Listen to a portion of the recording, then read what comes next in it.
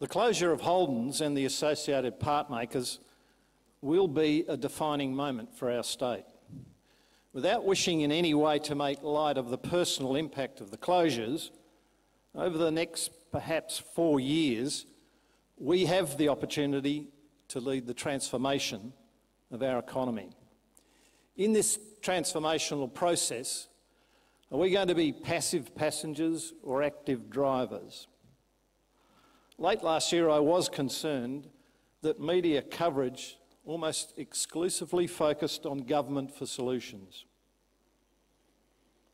We need a broad based community ownership of the challenge ahead because they are our issues and they require our attention if we're to forge sustainable solutions.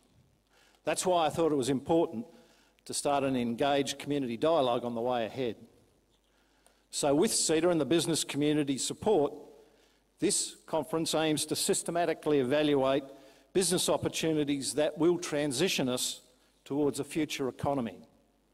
And such a transition is certainly not beyond us. We already have smart and innovative companies trading on the global stage.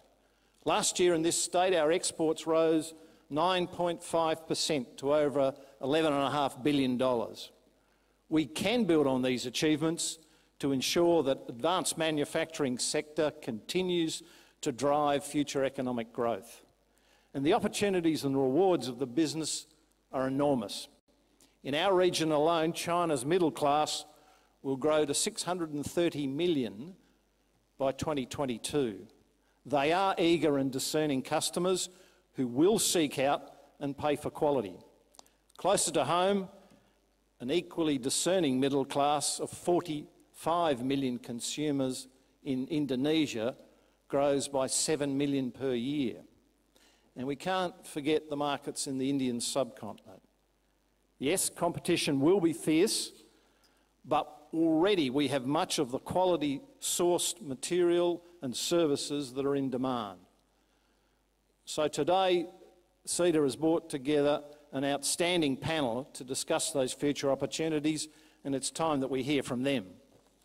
Before I finish, I'd like to thank Tony, the panel, CEDA, KPMG and the other sponsors for running this event, and also want to thank you for showing interest in attending.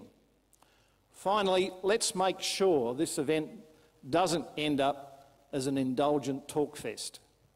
I expect an outcome from today will be some process that ensures better systematic and sustained links between government and business on the way ahead we can all help to drive the next step of this transformational journey. Thank you.